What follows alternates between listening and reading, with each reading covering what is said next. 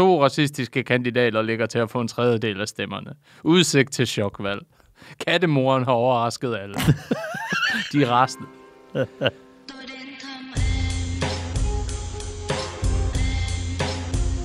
Jeg kan også se, at øh, politikken, de har allerede, og det er jo godt for højredrejningen, at Marine Le Pen klarer sig så godt, må vi bare sige. Dejligt for øh, programmets narrativ her. Yes. Men politikken, de har allerede lavet sådan nogle skrækscenarier for, hvad der sker, hvis Ja, når vinder. hun vinder.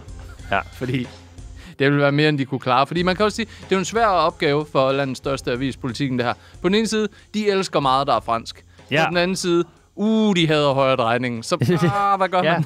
Jo, og de, og de skal egentlig også gerne bede om EU, men han er også de rigeste præsident, og det går heller ikke. Jeg har lige slået op. Øh, 62 er pensionsalderen i, i Frankrig. Gys! Hvad nu, hvis Marine Le Pen bliver præsident? Her er et tænkt eksempel. Det er fedt. Bare ligesom at, at tage den up front. Den holder vi sat ikke med. Ja, men de, du, generelt, hvis man lige prøver at google Frankrig inde på, eller google søge på Frankrig inde på politikken.dk. To racistiske kandidater ligger til at få en tredjedel af stemmerne. Udsigt til chokvalg. Kattemoren har overrasket alle. de er rasende. Men det, kan, det synes jeg, det er jo derfor, politikken er en skøn avis. Det er, at de ligger ikke fingre imellem Nej. på en lødig måde om, hvad de Nej. ikke skulle bede om. Nej, de holder, de holder med nogen. Og det er jo så det, fordi ham, øh, Jean-Luc Mélenchon, han øh, skulle desværre holde en øh, nederlagstale i går med sin tredje plads og sige, Det var tidligt.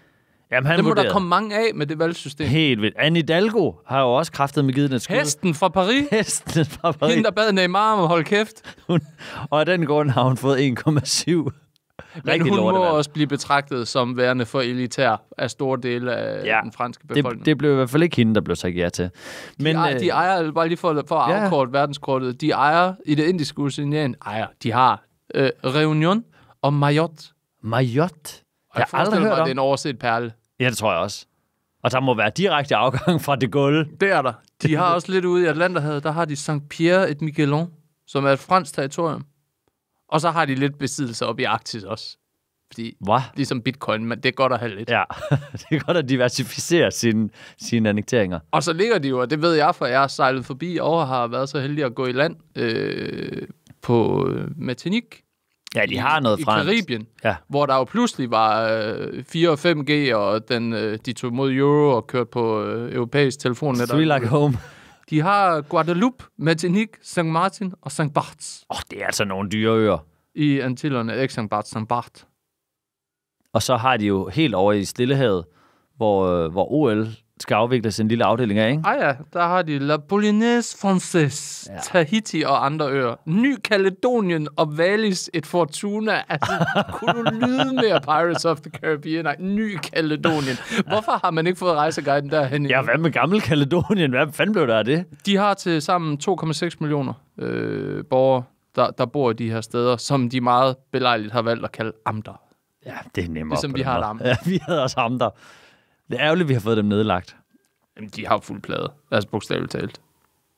Selv Det er også som ud- om, nu med... Øh, altså, vi, vi er kommet et tidspunkt hen i, i sådan historien, hvor der er ikke nogen lande, der opgiver de her suveræniteter mere. Nej, så var det sket. Jamen, Så det er det. det Så nu, nej, nu er det bare vores. Ja, Øh, man kan sige, Barbados øh, lavede den jo med, øh, med England for nylig, Ja, det er og smed dronningen på porten, så Ja. nu stopper det her. Ja.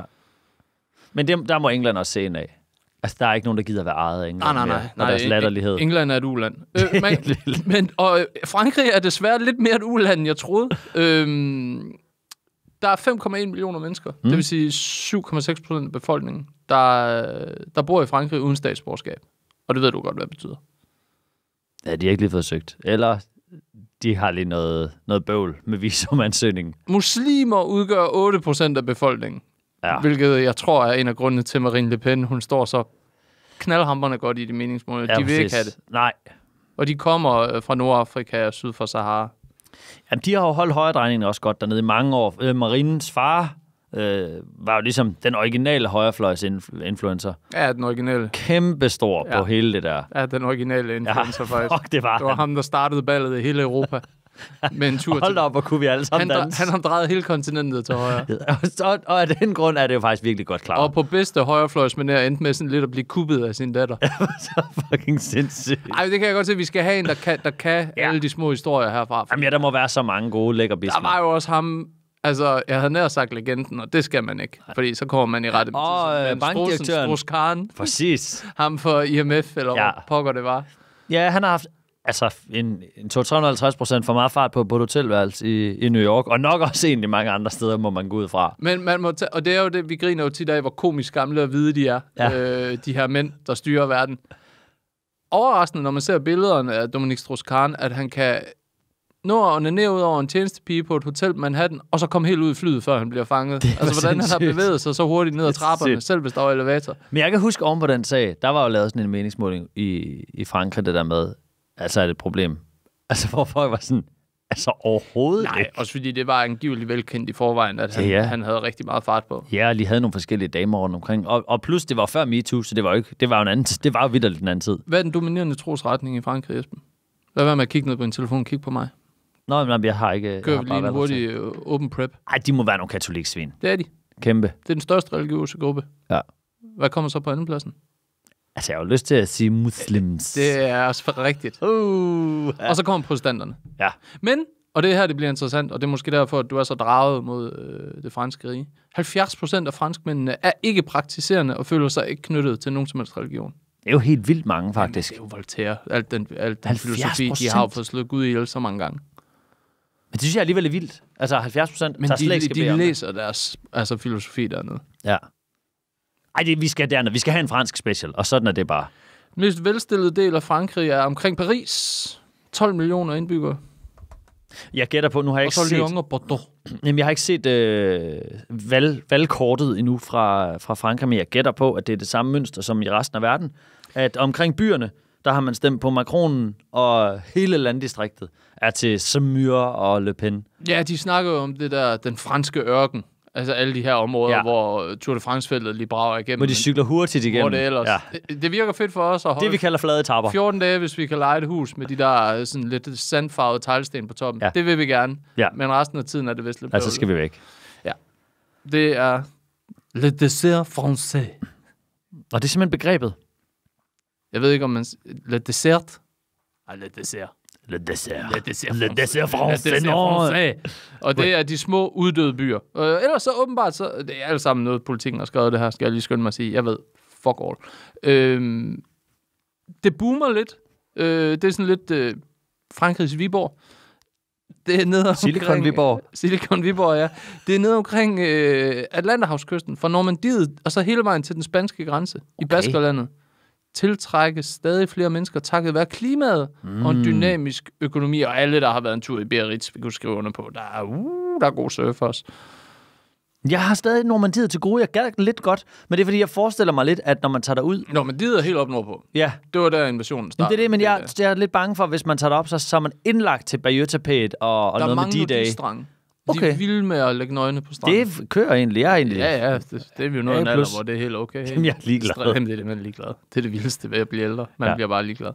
Ej, nede omkring Biarritz, Ja, og okay. nede omkring, hvor du også lige kan tage en tur ind i San Sebastian, Mm. som jo er den kulinariske perle, Ja, det måske det være. i hele verden. Ikke? Det tror jeg er mere af mig. Så du kan tage nordpå og tage sydpå. Men vi har kun døgn, så vi tager til Paris. Ja, det bliver Paris. 10 procent af de rigeste franskmænd sætter sig på næsten 25 procent af de globale indtægter efter skat. Det er næsten syv gange så meget som de 10 procent fattigste. Jamen, sådan er det jo bare. Øh, Jeg tror også, hvis der nu vil sidde nogle onde tunger derude og sige, hvorfor var I ikke i Tyskland, hvorfor var I ikke i England dengang? Der gør vi ligesom med alle andre journalister. Man vælger det sted, der er fedest. Ja, Øh, og sådan er det. England, nej. Nej. Tyskland, okay, det kunne jeg godt. Ja. Godt kørt tysk valg. Nu har, nu har de Olaf Scholz, som bare trumler derud af.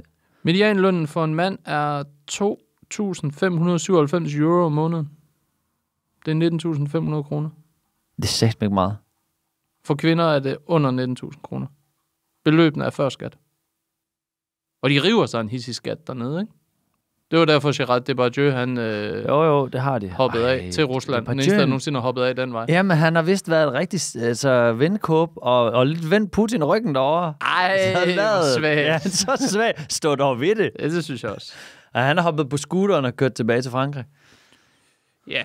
Den årlige rapport for NGO'en Abbé Pierre, hvilket er så fedt et navn til en NGO, Ah, Pierre. hvis talmyndighederne arbejder med, siger, at der boede 4,1 millioner franskmænd i 2012 i boliger, og der var umuligt at varme op. 2 millioner havde ikke adgang til toiletter eller rindende vand. Det, det er der, hvor vi tillader os at sige, det lugter lidt af uland, når man kommer ud i krogene. Ja, det lyder, Væk fra Champs-Élysées. det lyder, det lyder voldsomt. Og det er det, jeg tror med de der, altså, store europæiske lande, hold kæft, der er meget, hvor vi ikke har noget med det at gøre. Altså, vi hører kun om, om hovedstederne, og lige hvis der er noget bøvl i en stor by.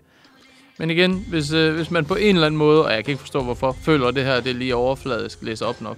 Nå ja, Tegn et abonnement på politikken. I, hold op, de har mange artikler. og de hoppede dybt i. Altså, det er hovedspring for Jeg tror nærmest, de har rykket hele, hele redaktionen derned. Ja, men de har det som os. Endelig et valg, hvor man kan få lidt godt at spise til. Men jeg synes, vi skal derned. Ja, prøv, vi, det kommer vi til.